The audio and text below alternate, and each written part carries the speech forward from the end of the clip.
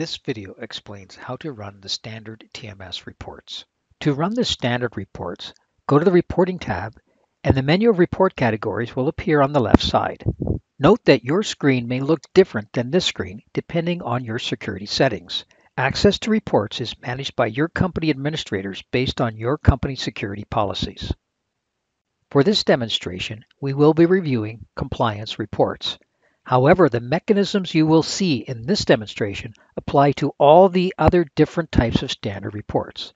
The one exception is the gross margin report, which is a grid format. For information on how to run grid reports, please view the ad hoc reporting video.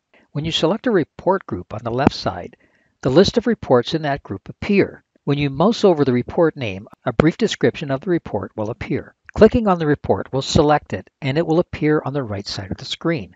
The report name and description will appear as well as the selection parameters. If you hover over the parameter name, the system will provide more information about that parameter.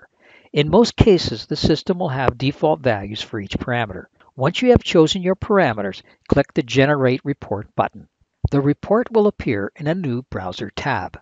At the top left of the screen are two icons. The print icon will print the report.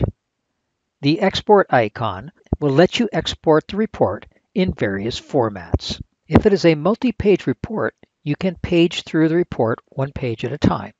If you click on the question mark on the top left, you can modify the report parameters and rerun the report. For example, if I wanted to look at any record due to expire in less than 30 days, I change the 200 to 30 and click the Apply button.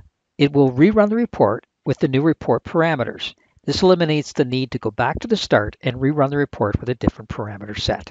Each standard report on the system is unique and designed to provide key information about your business.